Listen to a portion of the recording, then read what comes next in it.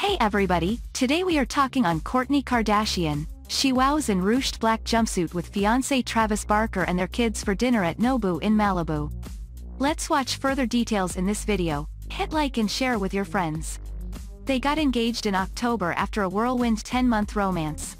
And on Sunday night, Kourtney Kardashian and fiancé Travis Barker took their kids to dinner at Nobu in Malibu. The engaged couple held hands as they made their way back to their car following a meal together at the celebrity hotspot.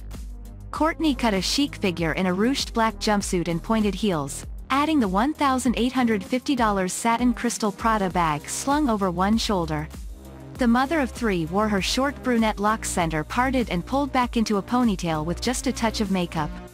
The brunette beauty held hands with her rocker fiancé Travis who donned a t-shirt with a black hoodie, Kourtney also held hands with her youngest son, Reign, 7, as they made their way to their car.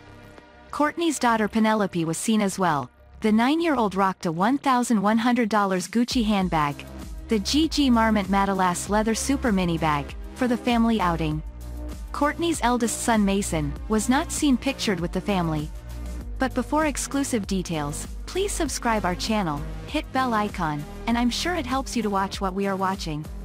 Travis's daughter Alabama walked besides Penelope sporting a $635 Marine Serre Crescent Moon jumpsuit with boots and a Louis Vuitton handbag. His stepdaughter Atiana de la Hoya was also on hand in an all-black ensemble and a mini Prada handbag. The Blink-182 star's son Landon was not pictured. Kourtney and Travis have been longtime friends and neighbors, with the rocker making frequent appearances as a pal on Keeping Up with the Kardashians. On Sunday, Kourtney shared a throwback image of herself and Travis from June 2018 before they were romantic. The lovebirds got engaged in mid-October after he got down on one knee at the Rosewood Miramar Hotel in Montecito, California after 10 months of dating. Kourtney was with Scott Disick for nine years until their split in 2015. They share Mason, Penelope and Reign. The duo were never engaged. Travis was married twice before, to Melissa Kennedy for nine months until their split in 2002 and then to Shanna Moakler from 2004 on and off until they finally divorced in 2008.